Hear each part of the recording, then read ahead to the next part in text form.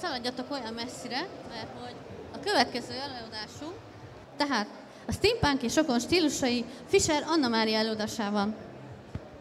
Sziasztok! Kicsit izgulok, nézzétek el nekem. Én Fischer Anna Mária vagyok, gondolom senki nem hallott még rólam egyáltalán, ez nem meglepő. Én 10 plusz éve foglalkozom steampunkkal, először még csak pillanat, picit zavarba vagyok.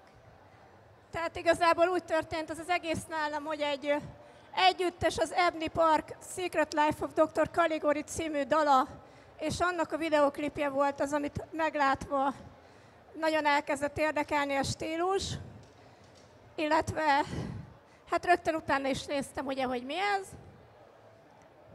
Ekkoriban viszont még nem nagyon lehetett, illetve sokkal kevésbé lehetett steampunk stílusú ruhákhoz, kiegészítőkhöz jutni, úgyhogy én arra jutottam, hogy saját magamnak elkezdtem ruhákat átalakítani, illetve kiegészítőket, nyakláncokat, egyebeket készíteni, és innen már egyenes út vezetett el az első, illetve a második steampunk fotózása, még ez a kép már a második steampunk fotózásomon készült, én vagyok rajta Rigó néni, és akkor ugye itt van a leírás rólam. Körülbelül 8 éve már előadásokat is tartok steampunk és gót témában, illetve néha stylistként is segítségemet szokták kérni egy-egy fotózás vagy esemény alkalmával. A Steampunk Design Market rendszeres előadója vagyok, a Dr. Leslie Aromó alkotótársammal együtt. És akkor most, hogy így a cosplay színpadon vagyok, szeretném megragadni az alkalmat arra, hogy igen, ez még a második steampunk fotózásomon készült ez a kép, tehát most szeretném megragadni az alkalmat, hogy elmondjam, hogy a steampunk nem cosplay, pár a cosplay színpadon vagyok éppen. A steampunk az ugye nem cosplay, hanem egy steampunk, steampunk set felvételével nem váltsz másik személyé, másik karakterré, inkább saját magad egy alternatív változatát fogod képviselni, kicsit talán azt a szemét, akivé válni szeretnél. Tehát nem egy meglévő konkrét karaktert személyisítész meg, hanem kitalálod saját magad steampunk verzióját. És akkor itt egy originál steampunk úriember, ő egy magyar steampunk srác, ő egy sírrabló szettet visel ezen a ruhán, teljesen autentikus, minden egyes darabja, még a nadrágjának az anyagja is eredeti viktoriánus kori anyagból van, illetve az összes kis kiegészítő, ami található rajta, az mind ilyen régi antik darab, tehát ő nagyon komolyan tolja a steampunkot. Szeretném még elmondani, hogy a, az előadásom során, amiket láttuk, képeket, azoknak a nagyon nagy részén magyar steampunkokat, illetve rokon stílus képviselőit láthatjátok. Egy-két kép van csak, amin nem ö, magyar steampunkokat láthattok. Majd direkt igyekeztem olyan képeket hozni, hogy azért látszódjon, hogy ö, magyar steampunk is van. És akkor vágjunk is bele, hogy mi is az a steampunk. Na, hogyha megkérdezel száz embert arról, hogy mi az a steampunk, száz ember más fog mondani, mindenkinek picit más jelent a steampunk. Tehát, hogy nagyon nehéz meghatározni. Szerintem pont ez is a nagyon jó benne, hogy mindenki egy kicsit a saját képére tudja formálni, mindenki belelátni azt, amit ő szeretne. Nekem a steampunk világa legelőször Jules Verne jutatja az eszembe. Amúgy ez egy neoviktoriánus, tehát egy új viktoriánus stílus, retrofuturisztikus, tehát hogy ahogyan a múltban elképzelték a jövőt. Az érája szerintem egy alternatív jelen vagy jövő inkább. A technika ugye nem a villany meghajtást veszi alapul, hanem szuper, most már saját magam se hallom. Tehát nem a villany meghajtású technika, hanem a gőzt és a mechanikus képeket veszi alapul. Ez még a közlekedésben is visszaköszön léghajók formájában. És itt egy érdekesség, nem tudom, hogy tudtátok-e, Az Empire State Building eredetileg egy léghajó kikötőnek és megállónak készült. És akkor térjünk rá a steampunk jellemzésére. A steampunk jellemző színe a barna, és itt van az első jellegzetes tévhit, hogy a legtöbb ember azt hiszi, hogy a steampunk egyenlő a barnával. Na most engem megnéztek, vannak a ruhámon barna elemek, de ugye a lila dominál, nekem a lila a kedvenc színem, úgyhogy én behoztam itt a lilát. Ez a barna mánia magyarázata ez az, hogy a viktoriánus korban a fényképezőgép elődje a dagerotípia volt, ami szépia színben jelenített meg mindent, ami a barnának egy bizonyos árnyalata. Szóval a steampunk nem azt jelenti, hogy csak és kizárólag barna szint lehet viselni, nyugodtan engedjétek el a fantáziátokat. A másik jellegzetes tévhit, hogy minden szethez kötelező goggles hordani. Na most, mint látjátok, rajtam sincsen, mert a szettem egész egyszerűen nem, a, nem illet hozzá, úgyhogy remélem azért így is abszolút jól felismerhető, hogy steampunk ruházatban vagyok. A steampunknak a jellemző steampunk jellegző, jellegzetes anyagai a bőr és a csipke, természetes eredetű anyagok, technológiában rengeteg rész, és a műanyag és a ragasztás az nem megengedett. Tehát, hogyha steampunk dolgot csinálsz, varj, forrasz, hegesz, de ne ragasz, mert az nem steampunk. A steampunk jellegzetes motivumai ugye a fogaskerekek, krákenek, polipok, mindenhol fogaskerekek, tehát tényleg sokszor már túlzásba is viszik. És akkor most így a vizuális dolgokra rátérve, Szerintem a steampunkot mondok, akkor mindenkinek a legelső film, ami eszébe jut, az a Wild Wild West, vagyis a Vadi új vadnyugat. Nekem is ez volt a leges-legelső steampunk film, amit láttam. Viszont van még azért több, például az Aranyiránytű, Visszajövőben harmadik része. Első alkalommal nekem se tűnt fel, mikor láttam, még akkor nem ismertem ezt a stílust, de mikor már steampunkként néztem meg, akkor néztem, hogy hát igen, igazából ez egy steampunk film illetve a sorozatok közül a Love, Death and Robotsnak van egy nagyon-nagyon szép rókatündéres része, sajnos a címre nem emlékszem, ami egy teljes egészében steampunk történet. A japán vagy kínai, nem tudom melyik hitvilágra épülve, ugye a rókatündérre érdemes megnézni, nagyon jó film. Hát igen, ez is egy steampunk kép. És akkor Hoznék pár ö, magyar steampunk alkotót, abszolút a teljesség igénye nélkül, tehát sokkal többen vannak. A Cool Gear Steampunk, aki ékszerek, ö, órák és gagolozök készítésével foglalkozik, tehát ő nem, nem eladó, hanem ő alkotó, ő készíti ezeket. A hajpánt, amit láttok rajtam, az az ő alkotása például. Senga, aki ékszereket, fejdíszeket, egyéb medálokat gyárt és árul, illetve fotostúdiója van. Sengával egyébként itt valahol találkozhattok is, mert kint van. Az Alkos magad a következő, egy alkotóműhely, ahol szobrokat, dísztárgyakat vásárolhatsz, és készíthetsz saját magadnak is. Diffidencia, Diffidencia Fashion, ő fűzőke, szoknyák és hámok készítésével foglalkozik. Vele is találkozhattok itt egyébként ez a kis per kis táskácska, ami rajtam van, ez tőle van. Dr. Leslie Aromót előbb már említettem. Ő egy kitalált karakter, aki steampunk fegyverek, használati tárgyakkal foglalkozik, illetve steampunk eseményeken szokott ingyenes fotószeánszot tartani annak, aki be van öltözve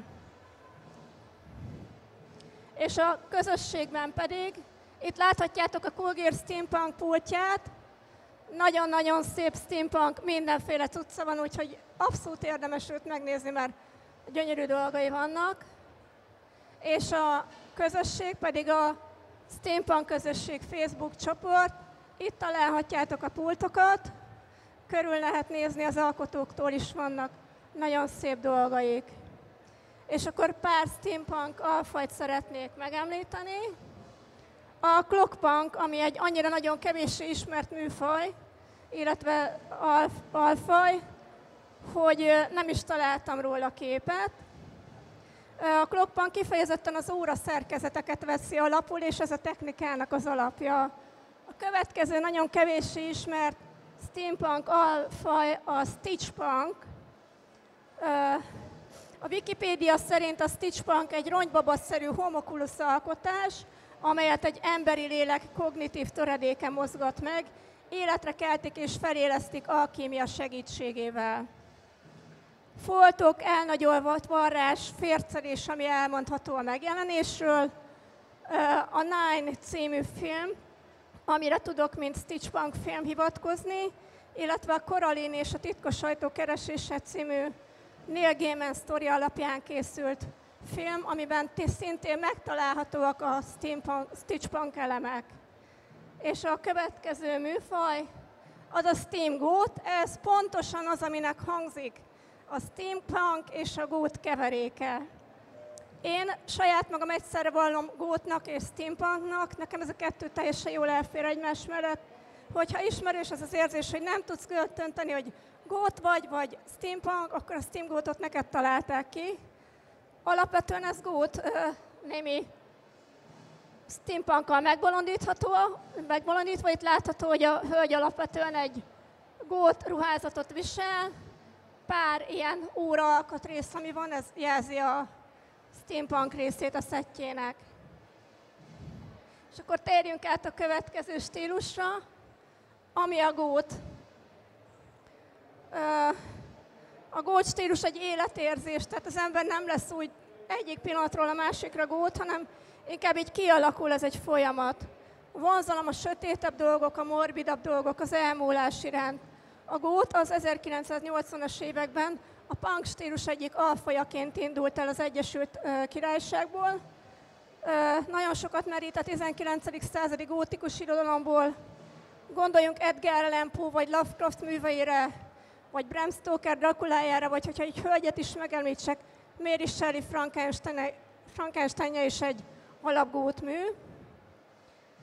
Ö, nagyon szeretném elmondani, hogy a gótok nem támogatják az erőszakot. Nagyon sokszor keverik a gótokat a sátánistákkal, de most attól, hogy valaki gót, nem lesz sátánista. Tehát, hogy van olyan sátánista, aki gót, de nem minden gót sátánista. Tehát nem fogunk ecskét áldozni éjfélkor se a keresztútnál, se sehol máshol. Öltözködés terén jellemző a full fekete ruházat, némi vörössel, vagy esetleg sötét lilával megbolondítva. A stílus jegyeit a viktoriánus vagy középkori korszakból kölcsönzi. A gót jellemző anyagai a csipke, bársony, nehéz sejem, brokát.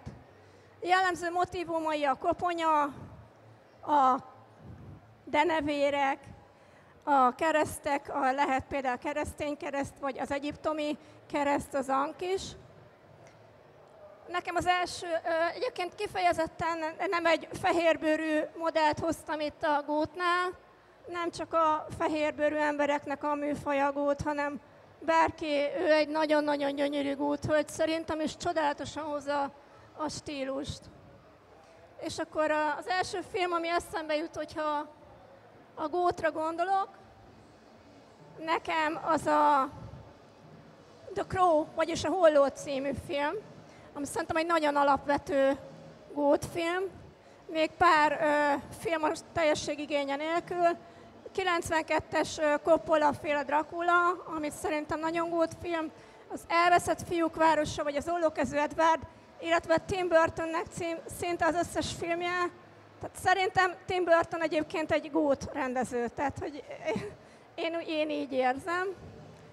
Pár gót banda, szintén a teljességigénye igénye nélkül, Sisters of Mercy, Bauhaus, amik eh, ugye klasszikusok, illetve az újak közül én nagyon szeretem a Lord of the Lost-ot, úgyhogy őket hoztam példának. Magyar Gót közösség, néven volt fent egy Facebook csoport, most azt hiszem Hungarian Gót Community néven találjátok meg őket, illetve az országos Gót találkozó az OGT, és elfelejtettem felírni a PPT-re, de a Fekete, Fe, Fekete Zaj Fesztivál az kifejezetten a gótoknak a fesztiválja. És akkor most pár gótalfajt szeretnék megemlíteni. Az első a pasztelgót. Ugye a steampunkra mondják, hogy a steampunk az a gót, aki felfedezte a barna szént, ez ugye egy vicc. Na most a pasztelgótnál azt mondják, hogy a pasztelgót az a gót, aki megunta a feketét. Viccet félretéve a pasztelgót szerintem egy nagyon-nagyon bájos alfaja gótnak.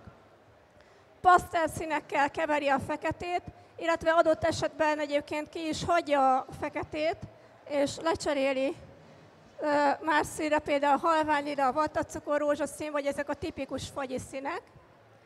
A ruhákra egyfajta kislányosság jellemző, rövid, kislányos, ilyen uniformis-szerű iskoláslány ruhácskákkal, szoknyákkal, térzoknikkal, és a természetellenesre vestett haj az szintén nagyon tipikusnak mondható. Ugye itt láthatunk egy pasztágót szettet, azért látszik megjelennek a, a gót szimbólumok, például a denevér. Szerintem egy nagyon-nagyon kis szuki stílus. A következő alfaja a gótnak az a lolita. E, nagyon hasonlít a pasztelgóthoz. Szerintem sokan nem is sorolják a gótba a lolitát, szerintem viszont itt a helye. Aki olvasta Nabakovnak a Lolita című regényét, az már tudja, hogy innen ered a cím. A Lolitára jellemzőek az erősen kislányos ruhák, baby doll-szerű egybeszettek, sok-sok csipkével fodorra, és annyi megkötés, hogy az igazi lolik azok nem vesznek föl csipke vagy netszharisnyát, mert ugye ez valamiféle kislányosság jellemző erre a stílusra. Ugye a csipke meg a netszharisnyát azt ugye erősen szexualizált elemként tartjuk számon, úgyhogy emiatt nem szokták. És akkor itt van a Lolitáról vagy a Loliról egy kép. Következő a Cybergót, vagy Cyberpunk. A Cybergót kifejezést 1988-ban alkotta meg a Games, Workshop. A Cybergót a jövőnek a stílusa az elembertelenedés, gép-ember összeolvadása, környezet toxikussá válása jellemzi. Az általuk vizualizált világ az nem túl biztató, tehát itt a, itt a korszak az a nem túl távoli jövő.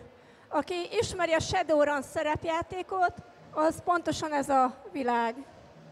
A cybergótok megjelenésére nagyon nagy hatást gyakorolt David Bowie 1970-es évekbeni megjelenése, gondoljunk ezekre a hatalmas nagy platformcipőkre, illetve a legelső science fiction film a Metropolis, valamint a cyberpunk mozgalom. A cyberpunk, cybergót jellemző színe a fekete, neon színekkel kombinálva tipikus anyaga a latex, illetve hálós anyagok. Ő, ő itt egy magyar hölgy, aki cybergót szedben látható, Ugye nagyon tipikus egyébként ez a szájmaszk, mondjuk rajta pont nincs, ami azt mutatja, hogy a levegő ugye már ö, nem annyira ö, beszívható, illetve, illetve a Google, ők, Goggles, ők voltak az elsők, akik Goggles viseltek a megjelenésüknél, tehát hogy tőlük ered igazából. Zeneileg az elektronikus zene a jellemző, az EBM, glitch, elektro, dark electro, ten, trance, acid trance, dark side trance, hard trance, hardstyle, dubstyle, techno, dubstep, hardcore techno, stb. És itt szeretném megemlíteni, hogy van amúgy egy nagyon-nagyon-nagyon jó magyar cyberpunk banda, az a nevük, hogy End, egy fordított ebetűvel írják, hallgassátok meg őket, mert tényleg nagyon jók. És a Cybergood Cyberpunk filmje az ugye nem más, mint a szárnyas fejvadász. Ez nagyon-nagyon tipikus cyberpunk movie. Illetve én nem nagyon szeretem az animéket, nem az én világom, de muszáj itt megemlíteni a Ghost in the shell ami egy alap anime, és az is egy ilyen cyberpunk per cybergood mozi. Ha még nem láttátok, nézzétek meg, mert nagyon-nagyon jó. És akkor szeretnék még pár gót alfajt megemlíteni. Corporate gót, amit a business gótnak is hívhatnánk. A formális öltözék gótosított változata thread gót vagy traditional gót, ez ahogy a tradicionális, klasszikus, ahogy a gótokat elképzeljük. A hippie gót az kicsit ilyen lazább, bohókásabb gótstílus, Ferry gót az pedig ilyen légiesebb, kicsit ilyen tündérszerű fantazi világban élő gót. Gotabilly, ami a rockabilly-nek a gótosított változata, ugye az 1950-es éveket idéző ruhák a stílus meghatározói, kicsit ilyen pin-up-szerű, csak ugye annak egy sötétebb válfaja.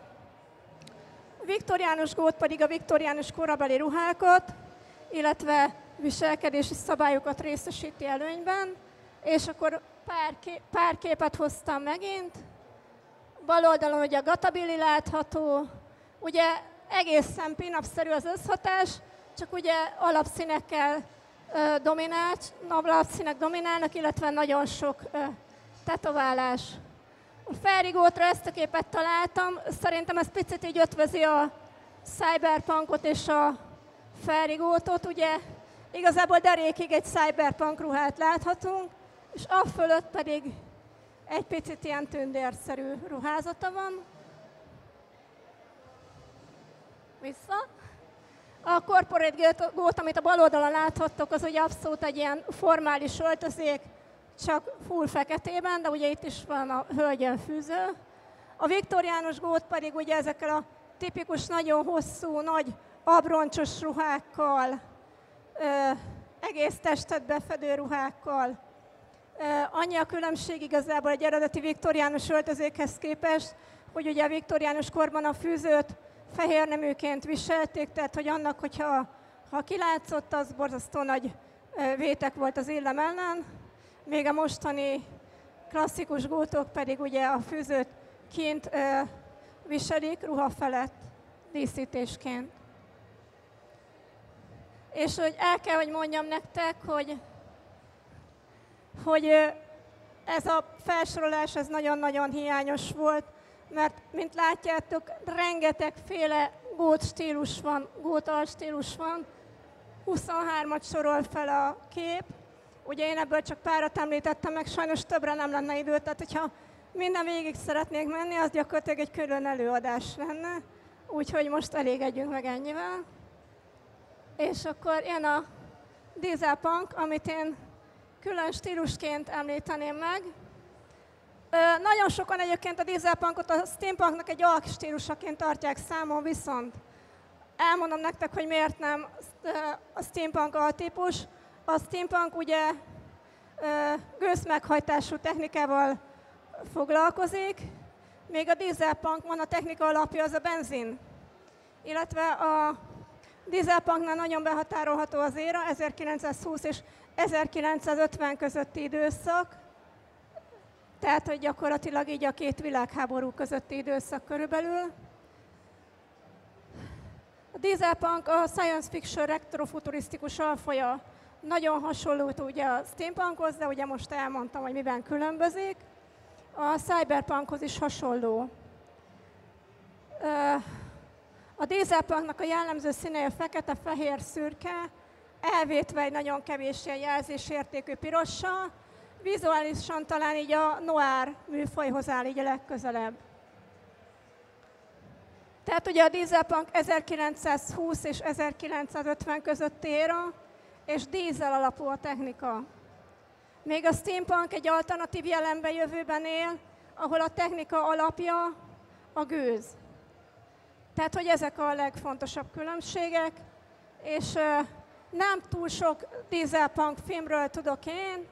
Az egyik az Iron Sky, a másik a Sky kapitány és a holnapvilága, és itt a képen, itt ez az Iron Sky című film, nagyon elborult film, szerintem nagyon érdemes megnézni, amúgy akit érdekel a diesel punk stílus, illetve hát egy mozi élménynek se rossz egyébként. És akkor elérkeztünk az utolsó rokon stílushoz, ami a Wasteland. Igen, szintén önálló műfajként hoztam szóba. Nagyon sokan ugye ezt, ezt is azt mondják, hogy ez is steampunk, Na most azért nem steampunk, mert hogy itt a technika alapja az gyakorlatilag bármi, ami még felelhető, ugyanis a Wasteland az egy posztapokriptikus stílus, tehát a jövőben egy világégés után járunk. Nincsenek technikai megkötések, illetve anyag megkötések sem, tényleg egy posztapokaliptikus világban, amit talál az ember, azt használja föl ö, alapanyagként, autóroncs, autókerégumi, bármi. Tehát, hogy ö, nincs ö, megkötés se technikában, se alapanyagok terén, és ö, bármilyen ö, eljárás megengedett hegesztés, varrás, ragasztás, minden, amit el tudsz képzelni.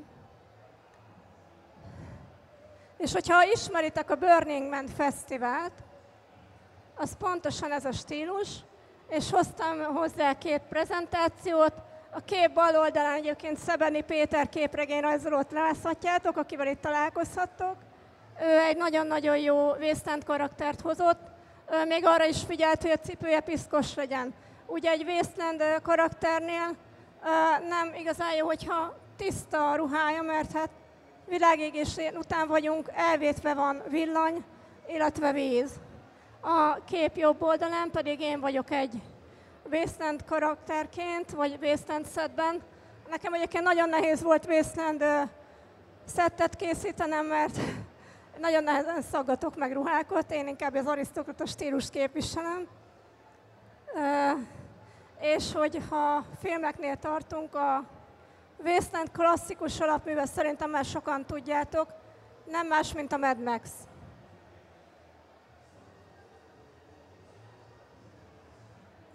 És akkor szeretnélek meneteket rendezvényre invitálni. A következő Steampunk rendezvény a Steampunk Design Market lesz a Dürer kertben, június másodikán. És ez a rendezvény teljesen ingyenesen látogatható és velem is találkozhattok majd ott. És nagyon szépen köszönöm a megtisztelő figyelmet, sziasztok!